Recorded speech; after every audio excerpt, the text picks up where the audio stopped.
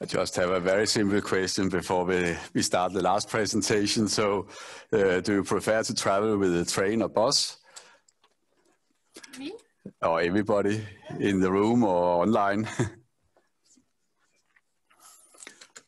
so the next presentation is Jesper Ingvardson, who will talk about uh, rail factor and attractive public transport and urban development um, from, I think also from a quantitative point of view. Um, and Jesper is um, associate professor at Department of Management at DTU, assistant professor.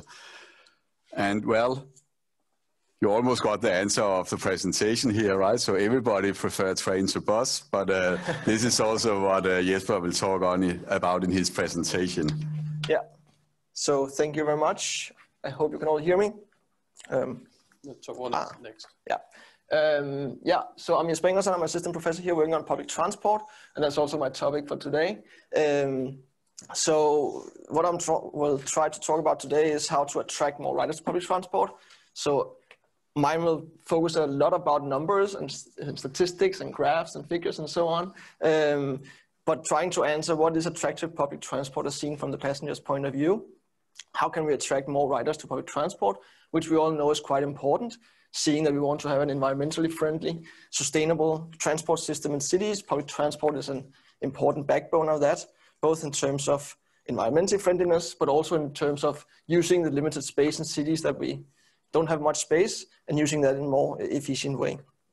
But in order to public transport also being economically sustainable, we of course needed them to attract sufficient ridership to carry the costs of, of the operations. So uh, how can we attract more riders to public transport? And does train uh, is train perceived more attractive than buses? And how can we cope with that in the planning? Um, and finally i'll just touch upon a little bit about urban development effects of, of how public transport and how public transport can contribute to, to the urban development. So insights from some of the projects that we've been working on at DTU. Sorry for this first slide. Uh, I'm not going into detail here. This is just to give a motivation for the first study that I will present, where we looked into the determinants of ridership in public transport. Lots of studies have been looking into this uh, previous years. Um, and looking into the determinants of public transport, we also need to take into account all, all sorts of other characteristics of the urban areas. So socioeconomic characteristics, land use and built environment characteristics, and also characteristics related to the private transport network.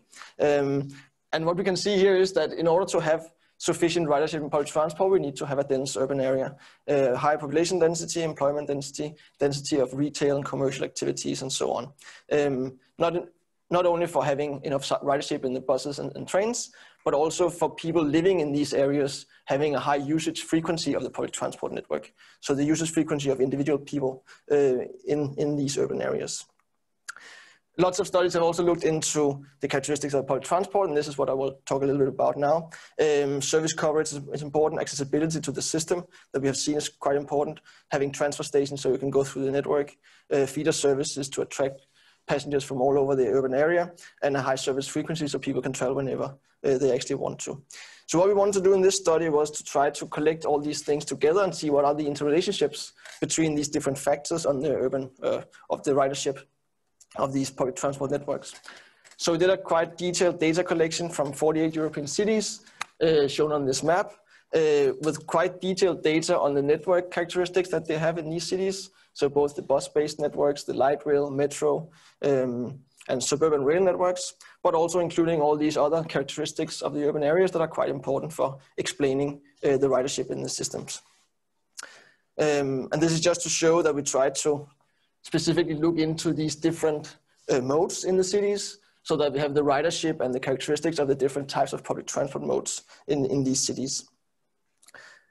Um, yeah, just briefly on some of the characteristics we looked into. Of course, we saw that there was a positive correlation between urban density in terms of job density, population density, and the actual usage frequency of individuals living in these urban areas. Um, so annual boardings uh, per capita in these urban areas. We also see that there's a strong correlation between the network coverage in terms of the length of the networks, uh, the number of stations in the networks. And we also saw these, some of these network topology measures, which we really wanted to, to emphasize in this study, that if you have more transfer terminals, a more well-connected network, then we have a positive correlation with the actual usage of the public transport system uh, by the people living in these urban areas. And finally, this number of circuits or different possibility to choose different routes in the network, that's also positively correlated. So it's quite important to have a robust network where people can actually choose different paths uh, through the network. So we wanted to, combine all these things into one final model, and I'll just go directly to the results of this. Um, even though we had a like quite detailed data set, we only had 48 cities, which is quite a limited number of observations for a statistical model. So we did a factor model where we could see that having like a very high coverage of metro networks in a city is very much correlated with having a very connected public transport network and also having very high urban density. Um, so this was one factor. The second factor was about the suburban rail network and the uh, terminals. Fourth factor on the light rail network. And then a, a third factor covering these background information about the cities, the social uh, demographics and the economic uh, characteristics. So what we can see here is that we actually see a positive and quite significant uh, positive correlation between having these very dense uh, urban network, uh, public transport networks, especially metro and suburban rail, these high class uh, train systems, and also having a dense network topology where people can actually transfer and travel through the network. Um, yeah, so on this aggregate level, looking into aggregate data from different cities, there seems to be a so-called uh, rail factor, where people uh, seems to uh, perceive rail-based systems to be more attractive. At least we see that people use public transport more if you have very dense uh, uh, rail networks in, in these urban areas. So on an aggregate level, this seems to be the case. How about on a disaggregate level? I'll go direct to the results of a similar study that we did on disaggregate data in Copenhagen using travel survey data from the Copenhagen region. We tried to look into what is the likelihood of choosing public transport uh, for a given trip during a day, for example, your commute trip or leisure trip and so on. And what we can see here is that taking into account all these different characteristics that I was talking about before, we can see that the vicinity to being close to uh, public transport stations, metro stations, S train stations and regional train stations, there's a quite significantly and large increased likelihood of using public transport when, uh, when you're located near to these stations. Especially when you're located, within 200, 400 meters, the likelihood is almost double uh, that of, um, uh, of when you, if you're not located close to, to the stations. Uh, but this uh, likelihood is still increasing even beyond this uh, close proximity to stations, up until 1,000 meters for the metro and 800 meters for the S train. We don't see this effect for bus uh, systems. Being located close to a bus stop is not really uh, attractive. It doesn't show an increased likelihood of using public transport, except for the bus stops that we saw was serviced by S buses, which are more fast buses running over longer distances with longer spacings between the stops. We did see a somewhat significant but way smaller effect, but only when you're located very close to these bus stops. So again, this seems that on an individual, more disaggregate level, there's also a rail factor. People seem to really uh, prefer using trains uh, over buses. And we have more ridership if we have these uh, uh train stations and, and rail networks. So the question is, is it at all possible to achieve something good with only having buses? The good thing about buses is that it's way more cheap to build. Um, so it could be nice if you could actually make a system that is almost as good as a rail system, but at the costs of, of using buses. So another study that we have been looking into is to how to achieve the rail factor without having to build the rails. Um, and this is where the concept of bus rapid transit comes into play, um, where we have this high class, more attractive bus service uh, planned like a metro system, but using buses to run the actual system. And we looked into upgrading a corridor in Copenhagen, um, existing bus line, using segregated infrastructure so the buses can run freely without being interrupted by other traffic. Uh, planning the system like a metro, so you board through all the doors. You uh, don't have the ticketing on board. You do that on the station platforms or the bus platforms. And we have uh, intelligent transport systems to reduce the bunching so that vehicles will drive with a certain distance between them and having a high reliability uh, and control of the system. And these elements combined, um, then we can see what are the effects of having a full uh, high-class bus rapid transit system or light rail system, which have uh, similar characteristics as whether use light rail vehicles or use buses to actually run the operations. And the results from this showed that when we include or implement a in, improved infrastructure, then we get a very much reduced travel time. I should probably just briefly talk about this graph. We have the running time in the, in the base scenario of 25 minutes in the corridor, split in between dwell time at the stops, running time between the stops, and red light, holding for red light signal at the, at the signals. Um, in the infrastructure scenario, we get a very much reduced running time, but we get an increased dwell time due to passengers not having a very efficient boarding process at the stops. So that means that um, that we get an increased uh, dwell time. Um, in the planning and technology scenario where we implement these metro-like services where you can actually board them through all the doors, we get a very much efficient dwell time, um, but we still have the same running time because we didn't do anything upgrades on the infrastructure. What we see when we implement this bus rapid transit system or light rail transit system uh, using all these different elements is that we get an increased travel speed, reduced uh, running time between the stops, and reduced dwell time at the stops. So we get the, both, the best from both worlds. And due to this very high reliable, reliable system, um, both at the dwell times at stops and at the, run, the running time between the stops, we can also more effectively plan the signal prioritization and have uh, a more effective use of, of those uh, prioritizations that we have in the signals already today. Um, so in this case, we actually see that looking into the operational characteristics, we can get the same effects using a light rail system and a bus-based a bus rapid transit system. Um, but will the passengers like the buses as much as the light rail? That's, that's the question.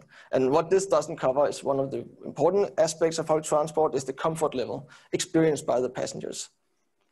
And what we can see here, looking into accelerations uh, measured on board these different uh, public transport vehicles, uh, for rail, for train, we see that there are very small fluctuations in acceleration. It's very smooth uh, experience uh, perceived by the passengers. Um, whereas looking at a bus, you have very drastic accelerations and decelerations, turns from side to side. And even when the bus is just running at a normal pace through a corridor, there's lots of fluctuations because, uh, because of turbulence in the vehicle. So it's not very comfortable. And comparing light rail to bus rapid transit, we do see that accelerations are in the same order of magnitude, but we still have much more uh, turbulence and um, more discomfort uh, in a bus rapid transit system. So this is a quite interesting uh, finding.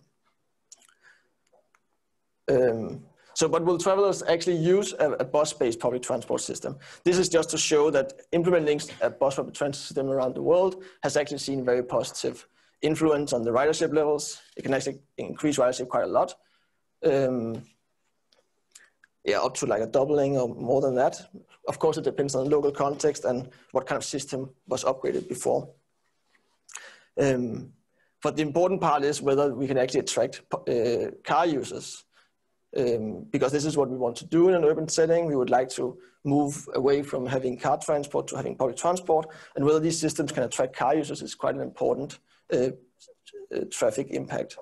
So what we see here is that we actually can, uh, for both bus-based public transport and light rail transport and metro services, we can attract quite a lot of public transport users, uh, previous car users into the public transport network. An important, uh, important aspect I should highlight here is that it also depends on uh, the capacity of the systems because a small capacity system is not really a low capacity system, doesn't really affect the overall transport system that much.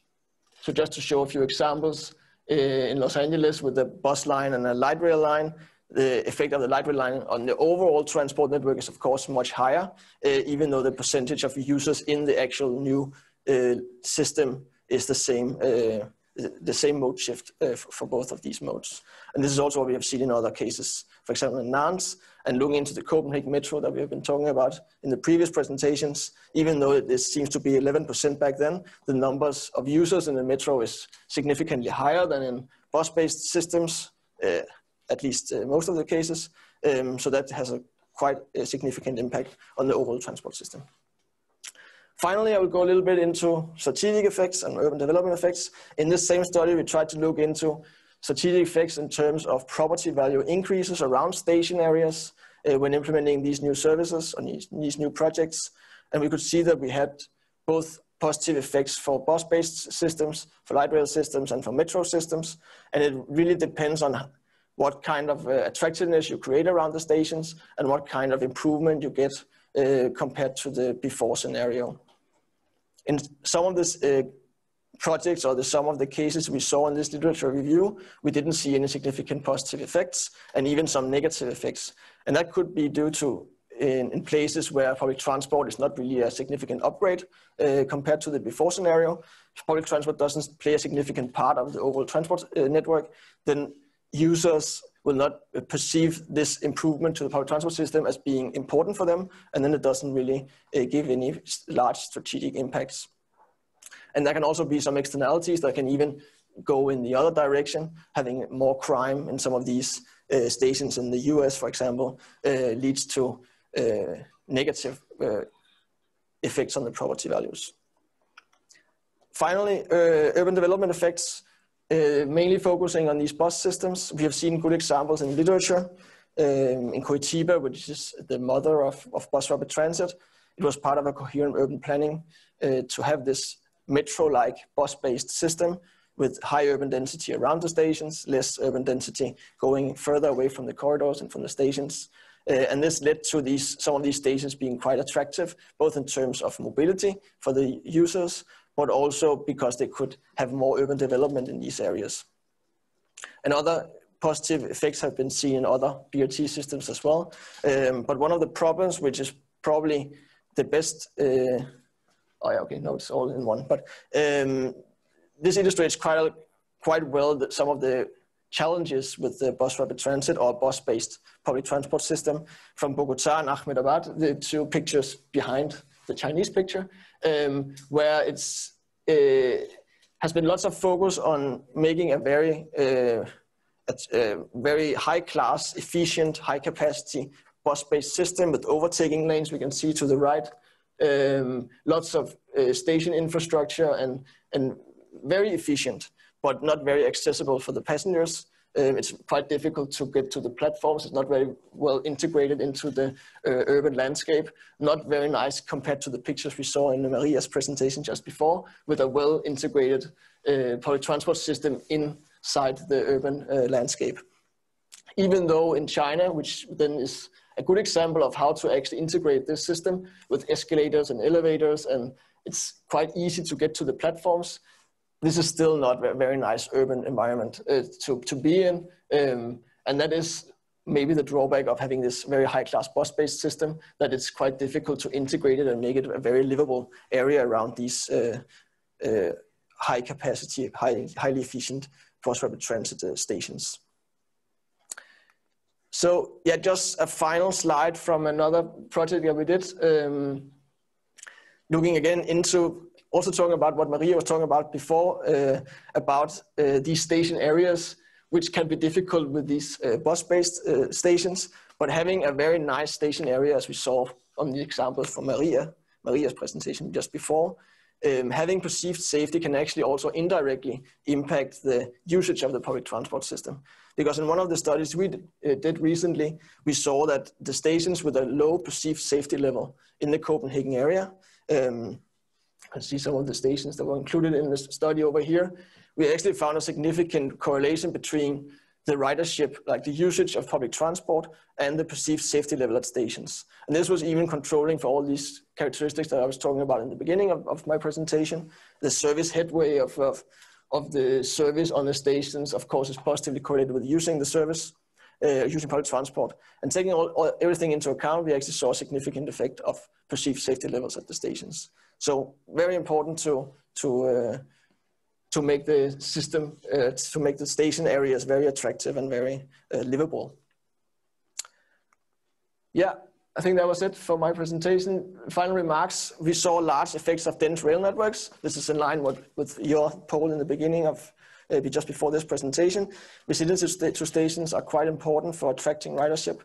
It seems that bus rapid transit and a bus-based system can in theory achieve similar service levels, same operational characteristics, and the impacts depend on the level of improvement, but also the capacity of the system rather than the system choice. And what we can see in terms of urban development and strategic effects, it's possible to achieve across these different types of public transport modes, but a bus-based system will have inevitably have very larger challenges compared to, to rail systems in order to achieve uh, these things. Yeah. Thank you very much.